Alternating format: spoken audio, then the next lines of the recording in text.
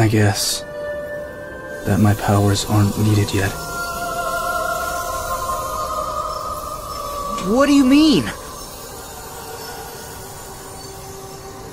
Never mind.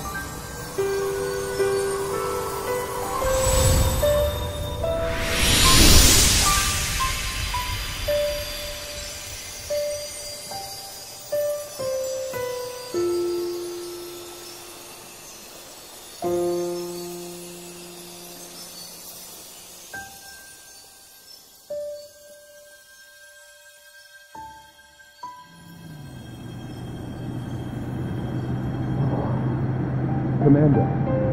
Commander.